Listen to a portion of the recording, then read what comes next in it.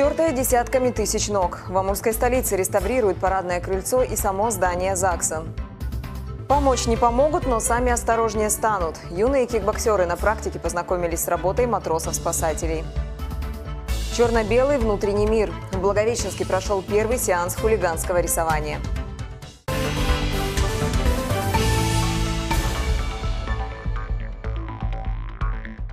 И сейчас об этом и многом другом более подробно. В эфире «Новости города» в студии Татьяна Жуленева. Здравствуйте. Жесткое ДТП с участием одной единственной машины случилось сегодня на улице Ленина. В седьмом часу утра Toyota Crown продемонстрировала редким прохожим подъем с переворотом. По словам очевидцев, на участке между Мухиной и Комсомольской водитель иномарки не справился с управлением. Авто сошло с главной городской магистрали, врезалось в электроопору, отлетело в сторону и перевернулось. Водитель и пассажир седана остались живы, но получили многочисленные травмы. Городские электросети ущерба не понесли, заверили в ГСТК. Опора выстояла, лишь немного наклонилась. Покорежный в аварии Кроун восстановлению не подлежит. Особо осторожными и внимательными стоит быть водителем на пути в село Чигири. Любое, даже незначительное ДТП на Новотроицком шоссе способно полностью блокировать движение по магистрали. Дело в том, что с сегодняшнего дня эта улица частично перекрыта в связи с ремонтом. Тяжелая техника зашла на участок с 4 по 6 километр. Восстанавливать разрушенное дорожное полотно планируют поэтапно. Соответственно, перекрывать шоссе будут частями. До 30 июля ограничат движение по нечетной стороне. Затем с 30 июля по 5 августа по четной. Благовещенскую набережную очистят от тротуарной рекламы. Сделать это авторов незаконных коммерческих творений обязала административная комиссия. Следить за чистотой пешеходных дорожек специалисты теперь будут более тщательно. Такое поручение дала мэр областного центра Валентина Калита. Сейчас идет очень много жалоб от населения по поводу рекламы, которая э, располагается где попала, как попала. Вплоть до того, что иду по улице Калинина на дереве, прямо на дереве, вот так вот облеплено скотчем, объявление о распродаже самбери. Ну это что за безобразие? Уже на деревьях стали это клеить. Поэтому давайте как-то пожестче. За размещение рекламы в непредназначенных для этого местах законом предусмотрены штрафы. Они хоть и невелики, до 500 рублей, зато назначаться могут многократно. Большинство предпринимателей города, авторы незаконных объявлений, уборку производят после первого визита административной комиссии. Однако власти намерены добиться, чтобы Благовещенск не захламляли вообще.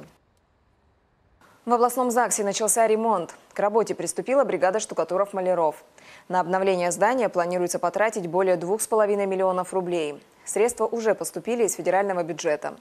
Когда работы завершатся и что все это время делать желающим пожениться, знает Оксана Курбатова.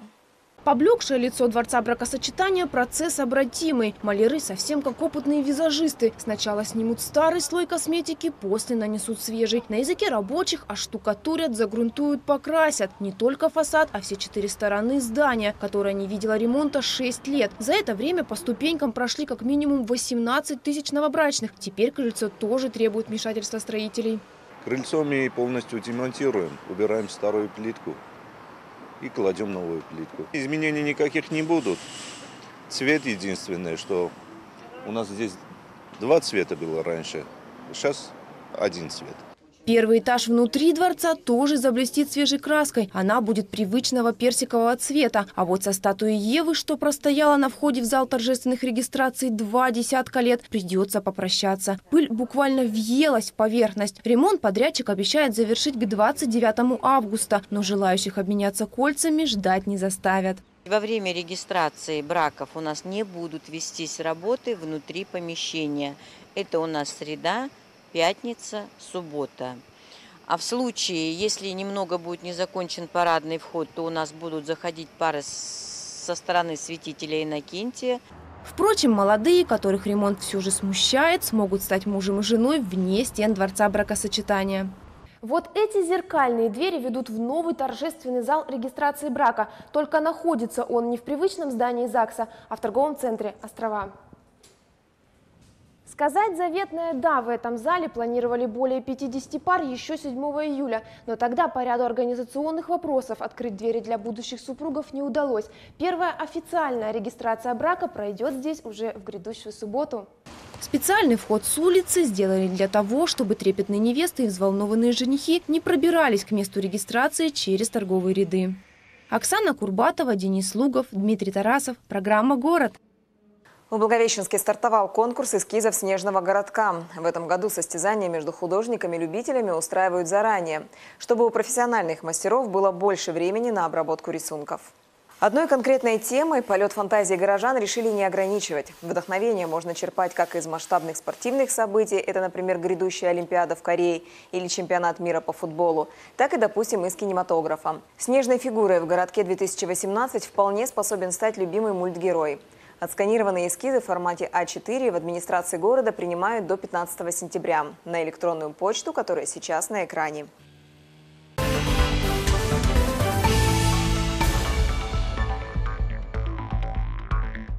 Губернатор Приамурья вошел в десятку самых популярных глав регионов. Топ-лист составила компания «Медиалогия» на основе количества упоминаний в различных социальных сетях, форумах и блогах.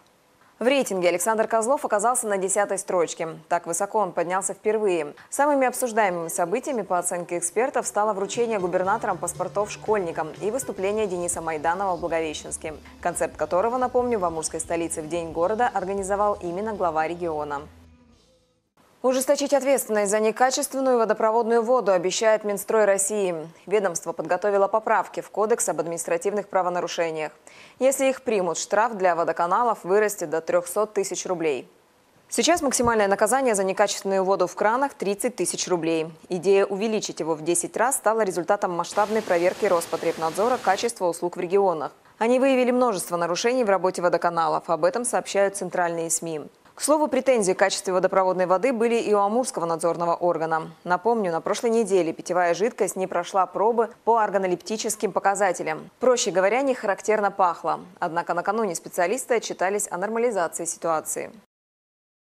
На втором Владимирском озере спасатели обнаружили тело пропавшего на выходных молодого человека. Это четвертый по счету утонувший в нынешнем сезоне. В прошлом году их было только три. Чтобы предостеречь детей и подростков от опасных моментов на воде, сотрудники МЧС провели мастер-класс для юных спортсменов из Федерации кикбоксинга Амурской области. Бросить в воду тяжелый спасательный круг девятилетний Гордей вызвался первым. Как и в кикбоксинге, больше уповал на удачу. Для первого раза неплохо, но для спасения человека недостаточно. Не расстроился. Во второй раз забросил конец Александрова уже дальше. Я хочу быть первым внимание, славу, деньги. Я буду богатым, если я буду звездой. Руслан Мациев, напротив, безграничную удачу не верит. Опирается на силу и знания. Вопрос умудрялся задавать, даже находясь в роли пострадавшего. Пока спасатели и другие мальчишки отрабатывали на нем новые навыки. Например, как делать искусственное дыхание, смотреть, живой человек или нет, проверять пульс. В таком формате Амурская МЧС сотрудничает с детской спортивной школой не в первый раз. Говорят, мастер-класс на воде намного интереснее лекций. Ребята могут испытать себя и гораздо быстрее уяснить главный посыл – не геройствовать. Если есть возможность позвать взрослого на помощь, зовите. Когда к нам обратились с Федерации кикбоксинга а, руководители о том, чтобы провести для своих детей-спортсменов мастер-класс по безопасности на воде, мы, конечно же, пошли им навстречу, чтобы дети знали, как вести себя у воды, что нужно делать, как помочь спасти, э, как спасти человека, как помочь тонущему человеку, как оказать первую медицинскую помощь. В этот раз полезное занятие посетили 15 юных спортсменов. В таком же формате спасатели готовы сотрудничать и с другими образовательными учреждениями. Достаточно подать заявку.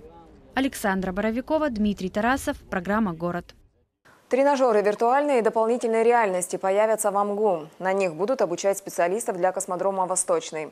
Помочь оснастить ВУЗ по последнему слову техники пообещал Роскосмос в рамках соглашения о сотрудничестве.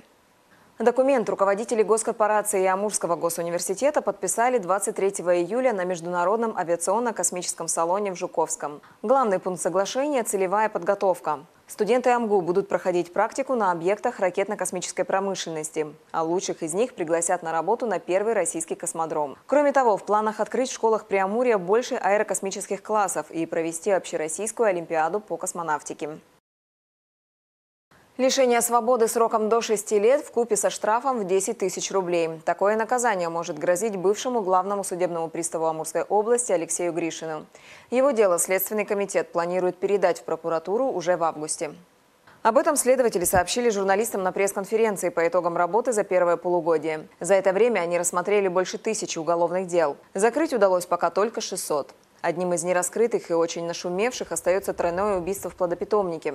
Напомним, 2 марта полицейские обнаружили в частном коттедже тела 60-летнего благовещенского бизнесмена, его супруги и сына с признаками насильственной смерти. Сегодня следователи прорабатывают сразу семь версий случившегося. Преступление могло быть совершено э, сыном. Вот одной из версий мы рассматриваем то, что мог он совершить это преступление, впоследствии покончить жизнь самоубийством. Также рассматриваются версии, связанные с э, коммерческой деятельностью супругов. Отметили следователи и положительную тенденцию. На 23% сократилось количество преступлений, связанных с умышленным причинением тяжкого вреда здоровью.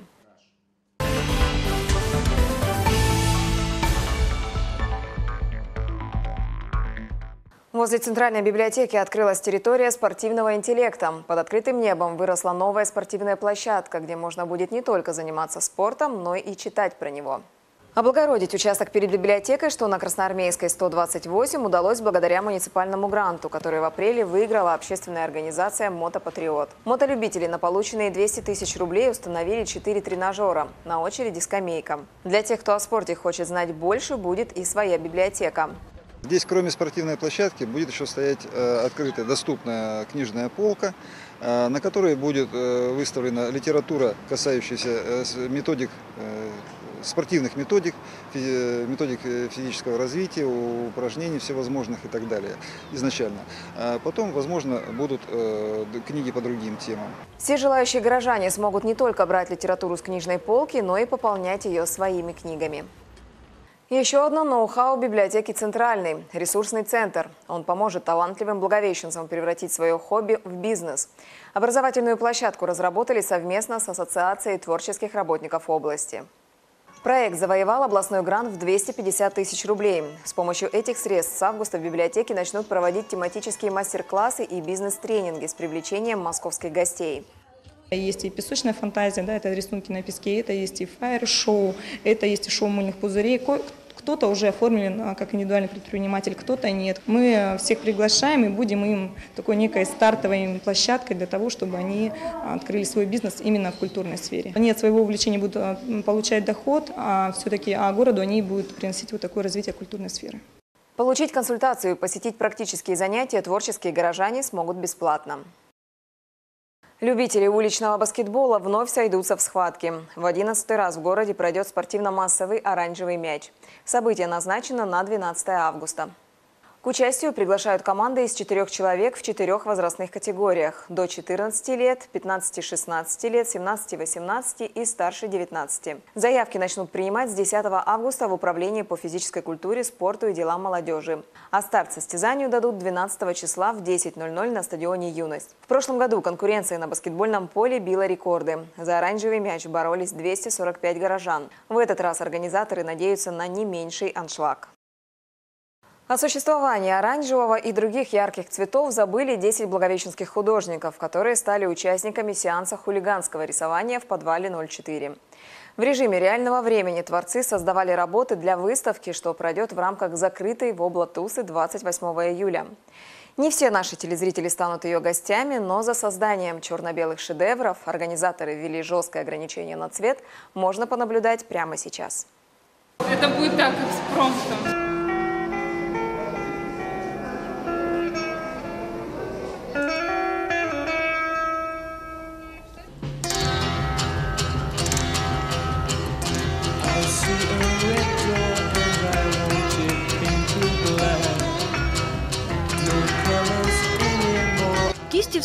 Палитру тоже. Акриловая краска отправляется на холст прямо из стакана. Все само смешается, говорит Яна Кольцова. Правила художественной школы, которую она закончила несколько лет назад, на уроке хулиганского рисования не действуют. Смыслом свой рукотворный хаос девушка не наделяет. Для нее это арт-терапия.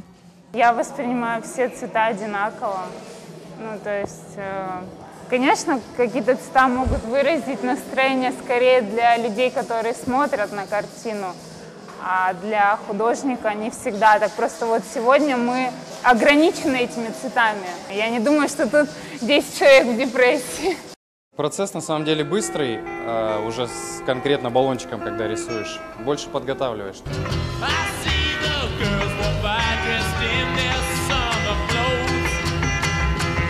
Ряды неформальных творцов затесался и уличный художник с 11-летним стажем Павел. В таких условиях он выражает себя впервые. Вместо стены холст, времени 20 минут и только два цвета краски. Повод показать себя с другой стороны. Современное искусство или пост-граффити какой-то, художник уличной волны, он уже подвергается такой критике, то есть вот ты рисовал там все время шрифты, а сейчас что-то там другое начал рисовать. То есть, ну, недопонимание внутри субкультуры идет, но ты видишь, что другим людям а, другим людям это становится интереснее. Ирине Григорьевой она пришла сюда на экскурсию, было интересно. Скучных мероприятий она вообще старается избегать. Не ошиблась и в этот раз. Еще и прихватила с собой дочь и ее подругу. Они перевоплотились в художниц, она в искателя необычных объектов. Ну, это люди, которые рисуют. Если я их встречу на улице города, я не подумаю, что они способны нарисовать человека, который сам себя в зад целует. Ну вот сейчас вот вижу, Необычное черно-белое действие поймет не каждый, но случайных людей здесь и нет, говорят художники. Для увязших по уши в творчестве новые форматы взаимодействия – это вдохновляющая свобода, новые знакомства и проекты. Александра Боровикова, Дмитрий Тарасов, программа «Город».